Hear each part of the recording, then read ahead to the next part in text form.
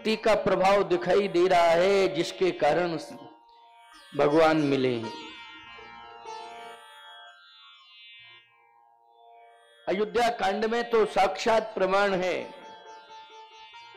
कि भरत जैसे भक्त जो कहते हैं, अर्थ न धर्म न काम रुचि गति न चहो निर्वाण, जन्म जन्म रति राम पद यही वरदान न। उन्होंने तो चारों का त्याग किया अर्थ, धर्म, काम और मोक्ष। उन्होंने कहा, एक भगवान का चरणार विंद मिल गया तो सब कुछ अपने आप मिल जाएगा। इनको मांगने की ज़रूरत ही नहीं है। क्यों भाई, भगवान के चरणार बिंद मिल गए तो अर्थ भी मिलेगा, धर्म भी, काम भी और मोक्ष भी। एक ही साधे सब सधे और सब साधे सब जाए। इसलिए ये भक्ति की पराकाष्ठा है कि मुझे भगवान का चरण चाहिए। देखे बिन रघुनाथ पद जिए की जननी न जाए। भगवान ने कहा कि मैं चरणों में हमेशा हमेशा के लिए कैसे स्थान दूँ तुम्हें इसका मतलब है, क्या मैं भरत तुमको अपने साथ ले जाऊँ? जब तुम मेरे चरण ही मांग रहे हो, चरणों में जगह मांग रहे हो तो क्या मैं साथ ले जाऊँ? ये संभव नहीं है। इसलिए चरण नहीं, चरण पादुका लेकर जाओ। मेरी आज्ञा है, अयोध्या जाओ। प्रभु करी कृपा।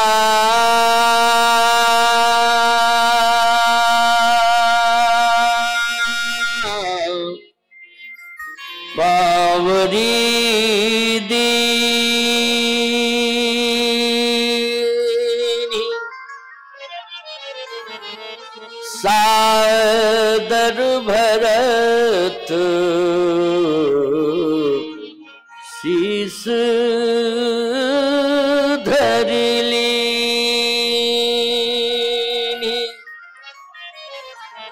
भगवान ने कहा, ये चरण पादुकाएँ ले जाओ और अयोध्या जाओ। भरत जी ने किसी भी प्रकार की कोई टिप्पणी नहीं की, कोई तर्क नहीं किया। ठीक है प्रभु, जैसी आपकी आज्ञा और पादुकाओं को सादर भरत शीश धर ली। जो भक्ति करते हैं, वो तर्क नहीं करते हैं ज़्यादा। और भगवत संबंधी तर्क तो वो करते ही नहीं है जो भक्ति करते हैं। सांसारिक तर्क करेंगे, वो एक अलग बात है। लेकिन धर्म संबंधी, आध्यात्म संबंधी परंपराओं में कोई तर्क नहीं करते। सहज ही स्वीकार कर लेते हैं, उन्हीं को भक्त कहते हैं, कहते सादर भरत शीस धर लीनी। आजकल विडंबना इसी बात की है कि लोग धर्म संबंधी व्यवस्थाओं पर न जाने कितने प्रकार का एक ऐसा माहौल, उपेक्षित भाव लेकर के ऐसा माहौल तैयार कर देते हैं कि ऐसा लगता है कि वो चैलेंज कर रहे हैं कि भक्ति है ही नहीं और भगवान है ही नहीं। ऐसा माहौल बना रहे हैं लोग कि ना तो भक्ति है, ना भगवान है। मैं एक बात कहना चाहता हूँ, वो निश्चित रूप से बाम मार्गी है। वो निश्चित रूप से अधोगति को प्राप्त होंगे। बोलो होंगे कि नहीं, अधम है। और सबसे बड़ी भूल कर रहे हैं वो। भरत कैसी निष्ठा श्रद्धा होनी चाहिए, इसलिए तर्क नहीं करना है।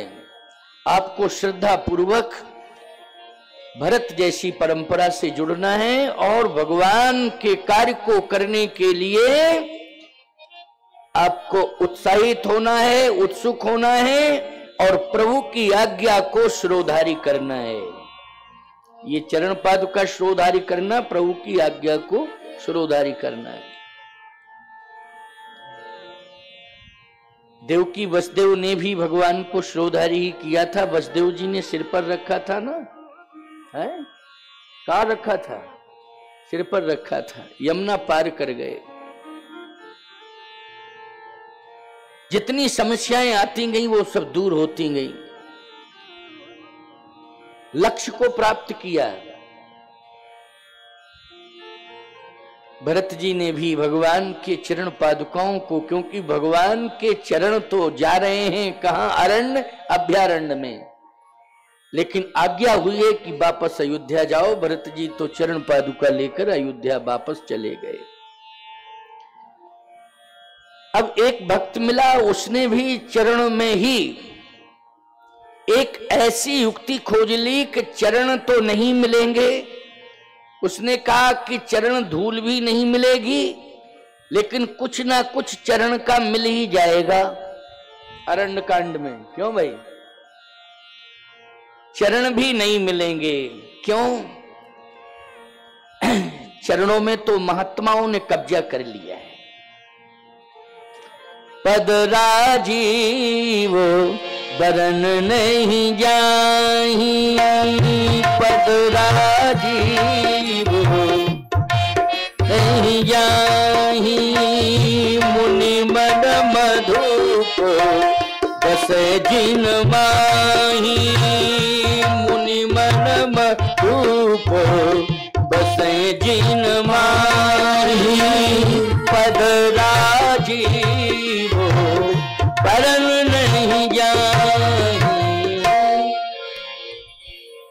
मुनि मन मधुप बसे जिन माही, हम तो अधम हैं। सड़ा मांस खाने वाले अरण्य कांड के एक जीव ने कहा अधम हूँ मैं।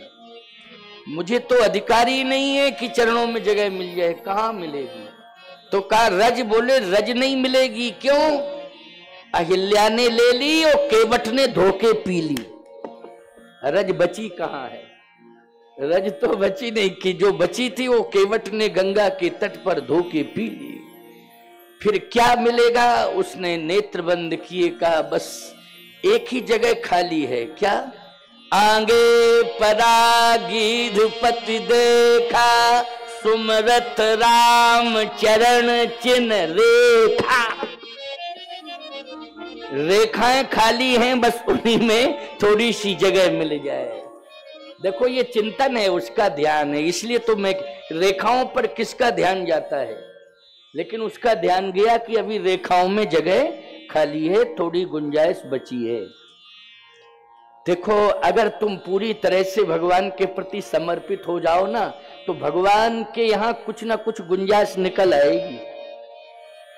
तुम्हारे लिए कुछ ना कुछ गुंजाइश निकलेगी, जगह मिलेगी। ऐसी बात नहीं कि जगह मिलेगी नहीं। बोलो गिदराज जटायु को मिल गई जगह कि नहीं? सुमृत राम चरण चिन्ह रेखा।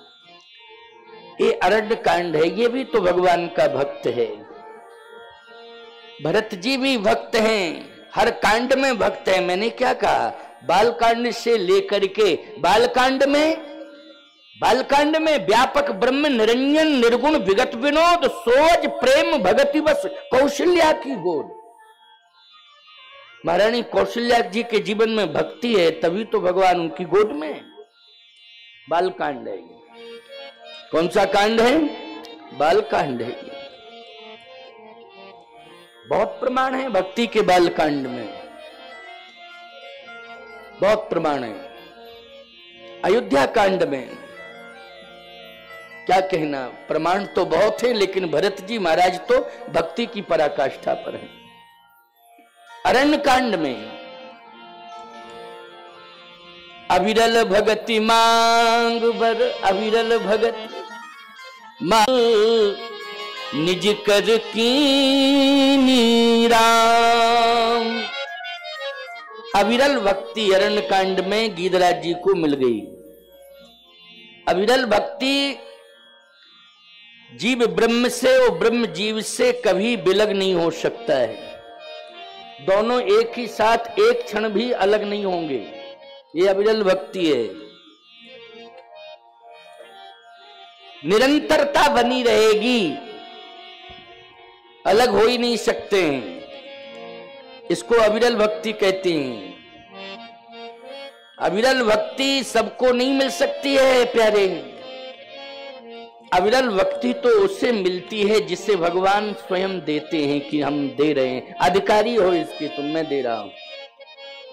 गिदराज जी ने कहा कि मुझे कुछ भी नहीं चाहिए, देना हो यदि आप दे सकते हैं। वैसे आप देते नहीं है, ये अविरल भक्ति अगर आप दे रहे हैं तो आप दे दीजिए मुझे। भगवान ने कहा कि मैं अवश्य ही दूँगा। भगवान ने अविरल भक्ति दी। अविरल भक्ति का मतलब है, भगवान ने कहा कि अब तुम भगवान बन रहे हो। गीत देह तज धर हरी रूपा।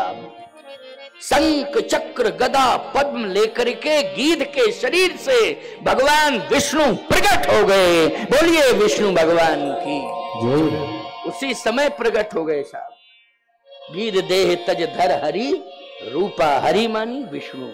विष्णु भगवान प्रकट हो गए। बोलो ऐसी भक्ति और ऐसी मुक्ति और इतनी बड़ी शक्ति कहाँ दिखाई दे रही है? महाराज, दशरथ, जिन्होंने इतनी भक्ति की है, इतनी भक्ति की है कि उस ब्रह्म को, निर्गुण ब्रह्म को सगुण बन करके आना पड़ा। लेकिन मृत्यु के समय तो राम राम कह राम कह, राम राम कह, राम तन पर हरि रघुवर विरय राव गए सुरधाम वो बैकुंठ नहीं गए, कहा गए? स्वर्ग गए। जहाँ देवता निवास करते हैं, राव गए सुरधाम। लेकिन गीधराज जी अविरल भक्ति प्राप्त किए और कहा गीत गए हरिधाम। अविरल भगति मांग बर गीत गए हरि धाम तय की क्रिया जथोचित निज कर कीनी, राम।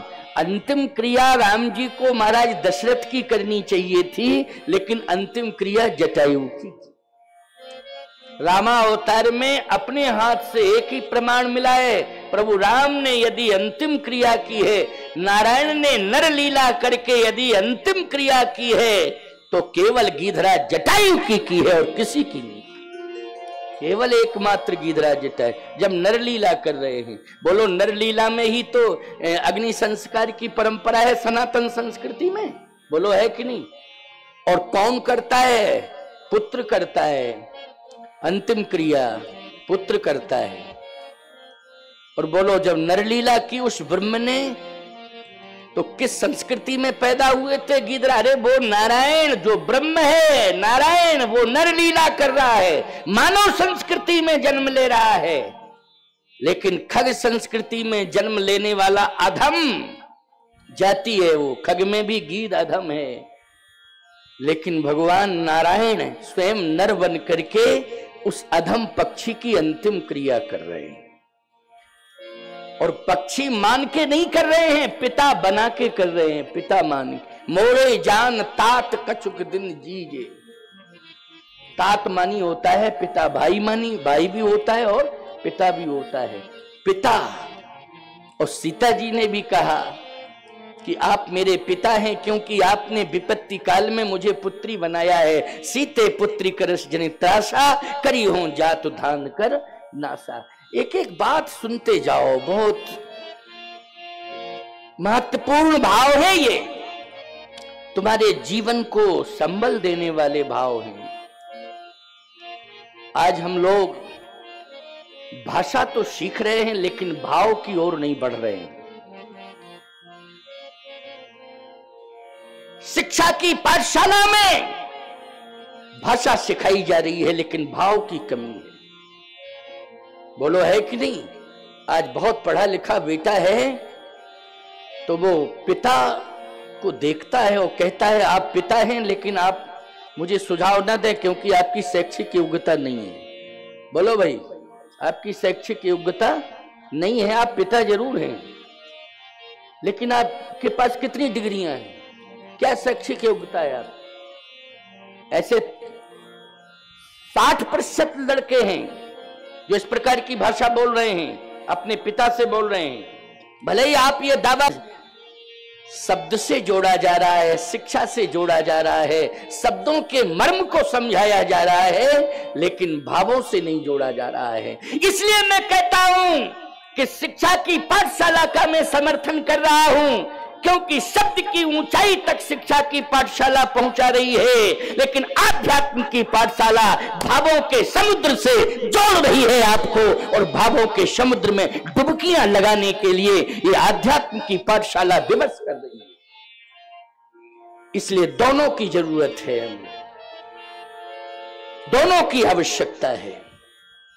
हम हमारा परिवार शिक्षा से जुड़े, लेकिन संस्कारों से भी जुड़े। ये भावमानी क्या है? भावमानी संस्कार। आवश्यकता है आज। आवश्यकता है। हम चाहे जितने बड़े व्याख्याकार क्यों ना हो जाएँ, लेकिन हृदय में अगर भाव नहीं होगा तो केवल हम पढ़े लिखे हैं जो रामायण की चौपाइयाँ छंद सोरठा हैं उनको पढ़ेंगे क्योंकि हम कला है पढ़ने की।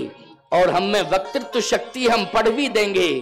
लेकिन याद रखना, केवल शिक्षा लेने से ही ये रामचरित मानस को नहीं कहा जा सकता है, क्योंकि ये पुरुषार्थ सापेक्ष ग्रंथ नहीं है, ये कृपा सापेक्ष ग्रंथ है, इसलिए समर्पण करना पड़ेगा। इस ग्रंथ के प्रति तभी इसके मर्म को समझा जा सकता है और बताया जा सकता है।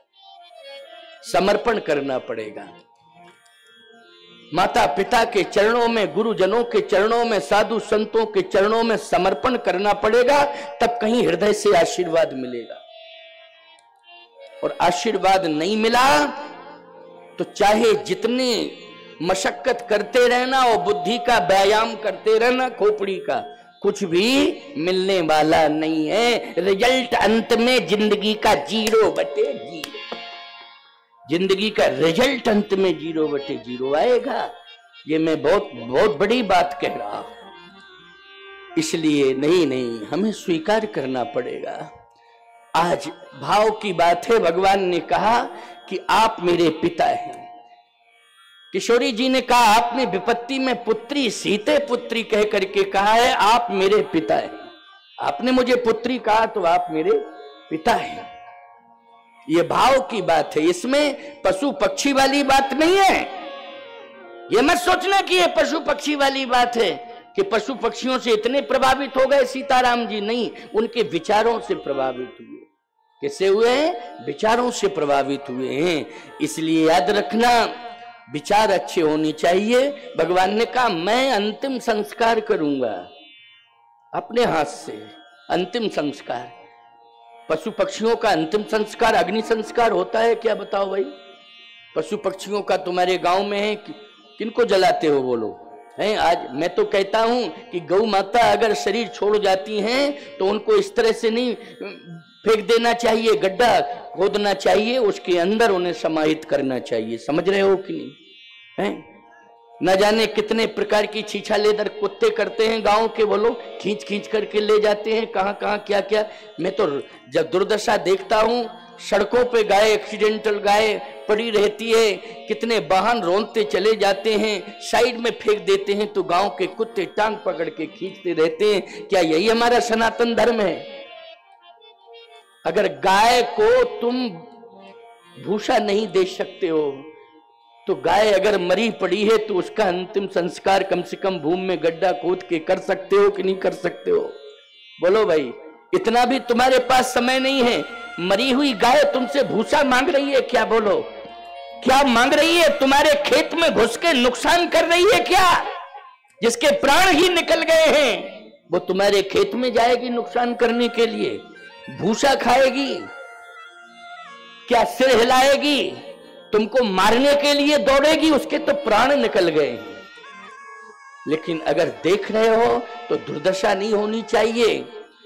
गाय को पशु मत मानना। गाय पशु संस्कृति में जन्म तो ली है, लेकिन वो पशु नहीं है। ये हमें मानना पड़ेगा, समझना पड़ेगा।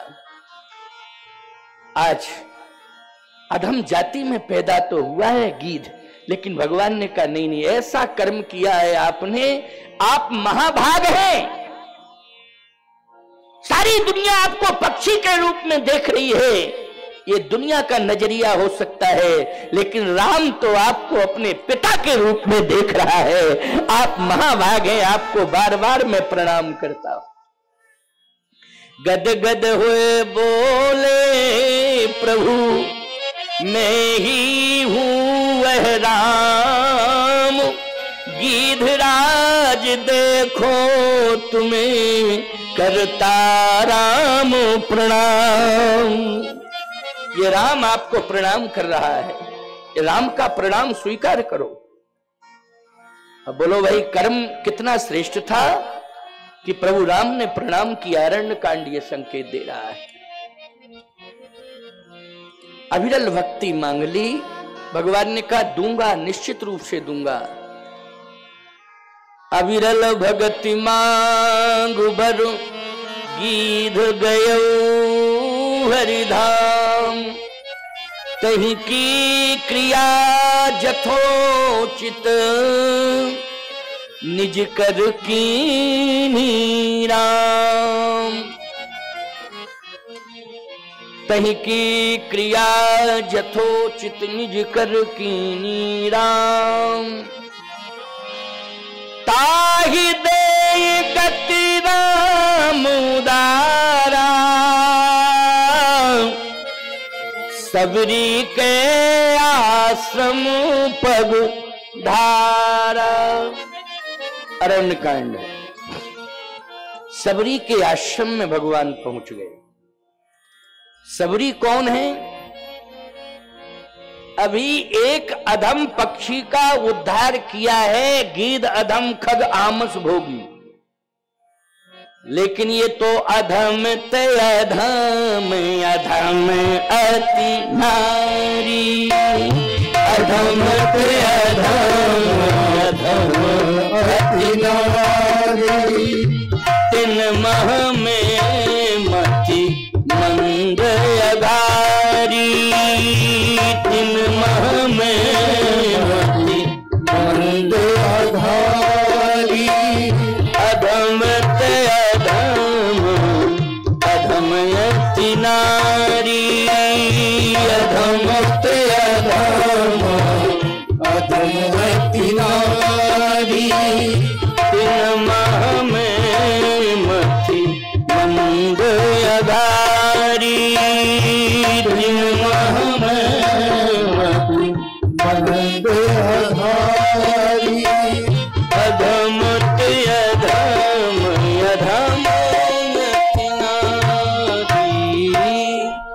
कहा अधम ते अधम अधम अति।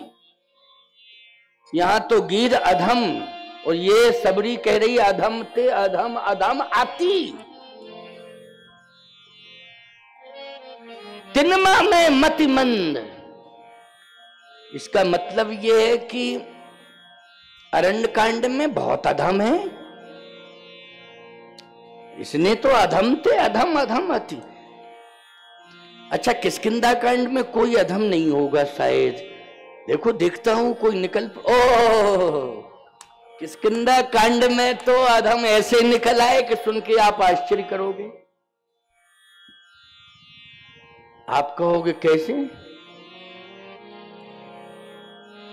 उन्होंने तो इतना कह दिया, सबरी तो अधम ही कह रही थी। इन्होंने तो कह दिया कि मैं तो कुटिल भी हूँ। और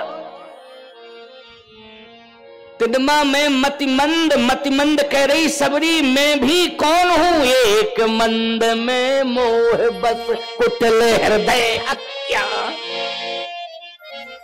हनुमान जी कह रहे हैं इस भाषा को।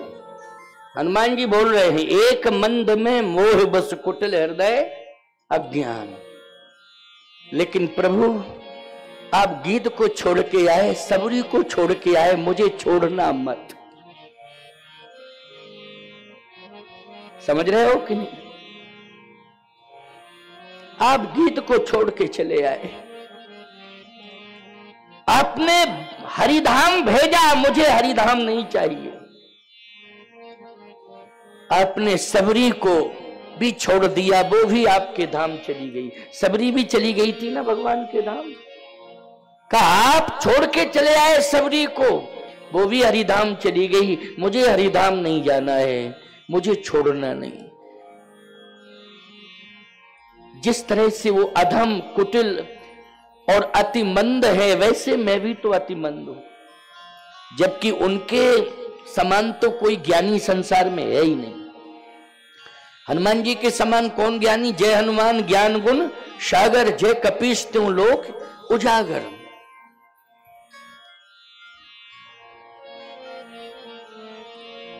आप सब प्रार्थना करते हो ना? बुद्धिहीन तन जान के सुमरहु पवन। कुमार, बल, बुद्धि, विद्या, देव, मोह, हरहु, कलेश, विकार।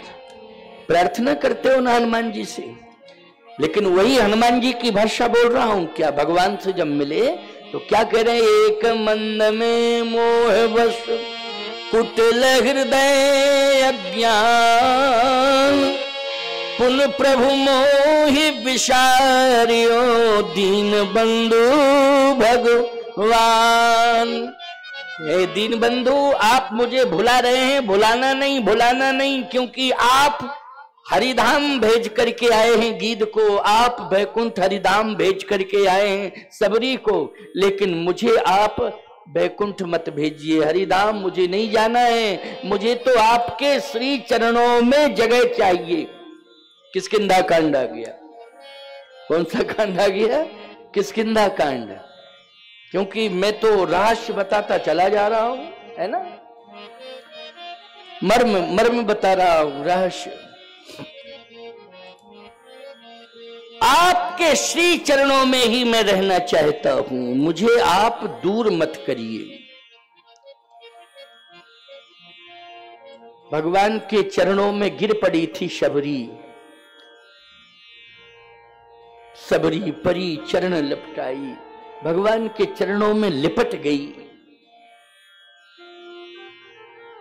क्यों? जब से गुरु मतंग ऋषि ने कहा था सबरी, मैं तो जा रहा हूँ, लेकिन तू आश्रम मत छोड़ना। तो सबरी ने गुरुदेव के चरण को पकड़ लिया। मतंग ऋषि ने कहा कि चरण कब तक पकड़े रहेगी? मेरे प्राण निकलने वाले हैं, इसके बाद तो तुझे छोड़ना ही पड़ेगा चरण। कहा, नहीं नहीं, मैं तो प्राण छोड़ूँगी आपके चरणों में।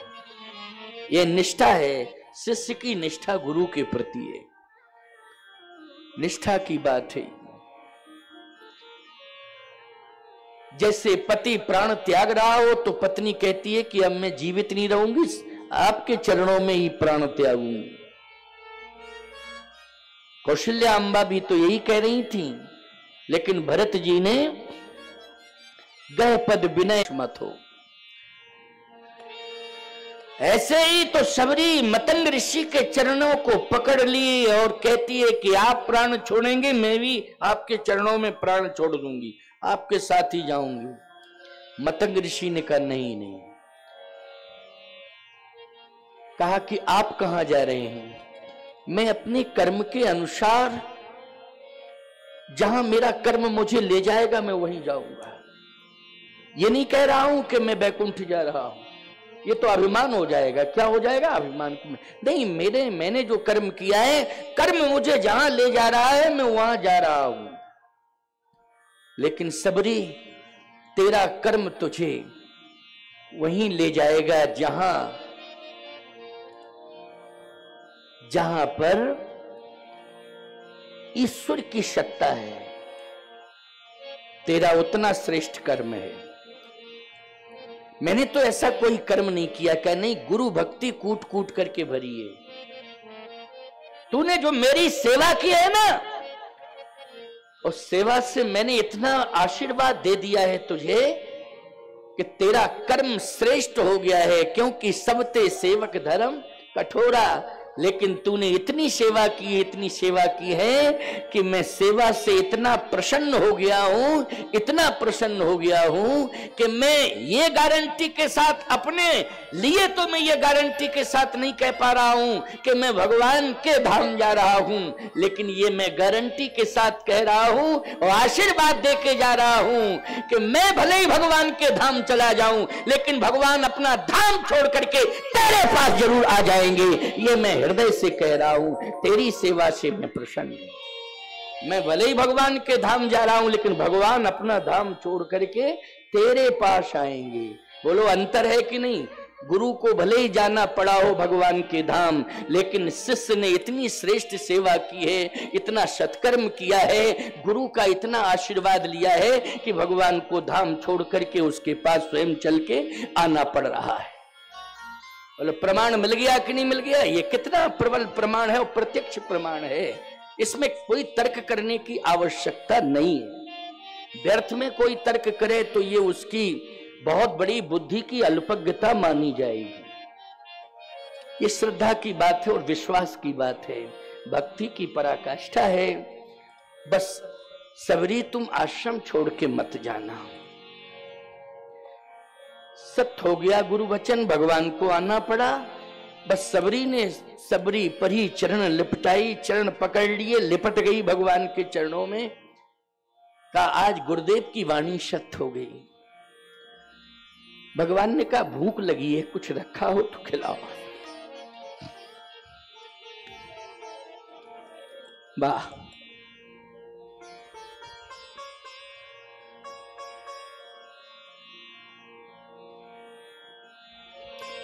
कौशल्या माँ ने कहा था, दूध रखा है, फल रखे हैं।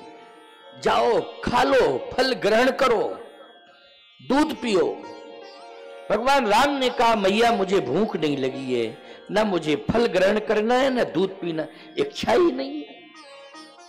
लेकिन सबरी से कह रहे हैं भगवान कि मुझे भूख लगी है, जो रखा हो खिलाओ।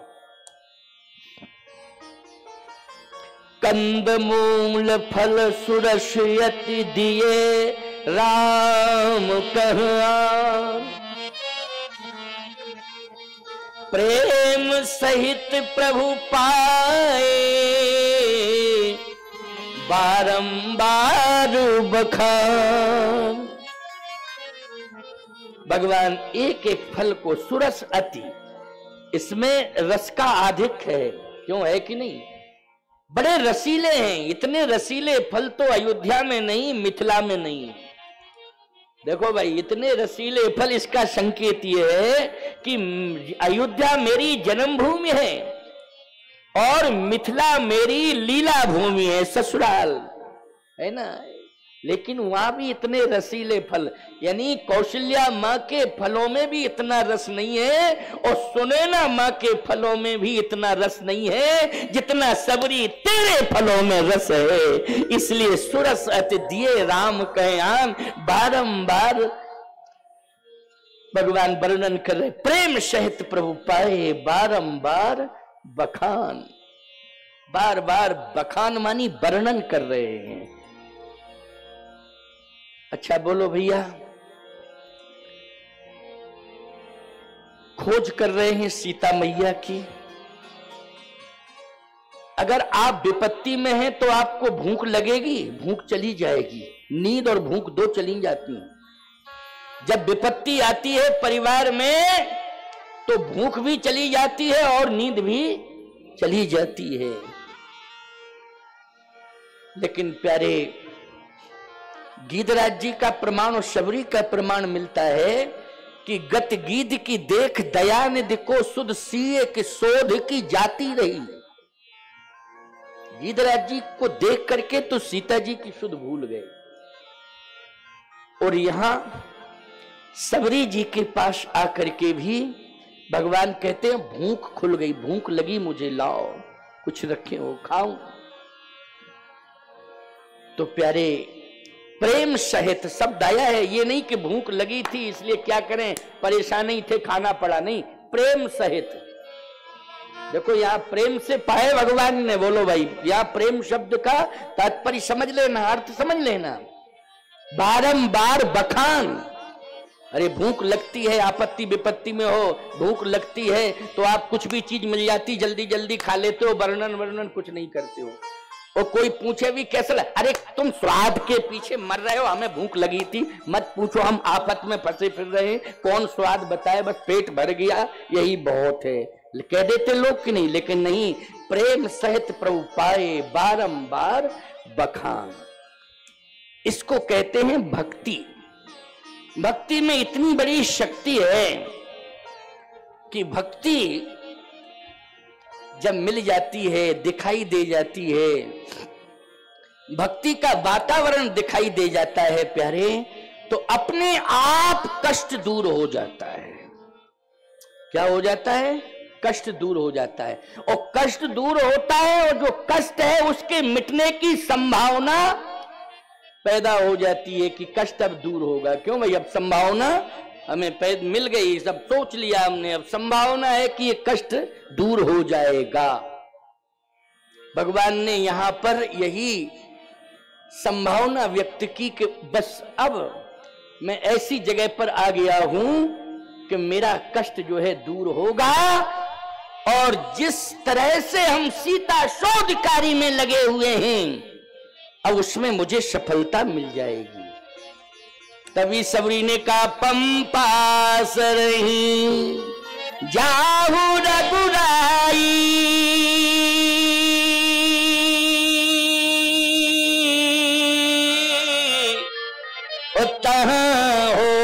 सुग्रीव मिताई। पंपास रही जाओ रघुराई बोलो, संभावना बन गई कि नहीं? अब कन्फर्म है। सुग्रीव मिताई, सुग्रीव से मित्रता हुई। उसी समय सीता शोधकारी की योजना बनने लगी कि नहीं? कि सीता जी का पता लगाया जाए, पता पता शोध तो कर रहे थे प्रभु। पता लगाने के लिए ही निकल पड़े, लेकिन पता भी मिल गया था। गीधराज जी के द्वारा नाथ दशानन यह गतिकीनी तई खल जनक सुता हर लीनी। ले दक्षिण दिश गए गुसाई, बिलपत री की नाई। लेकिन समस्या इस बात की, जब पता लग गया तो भगवान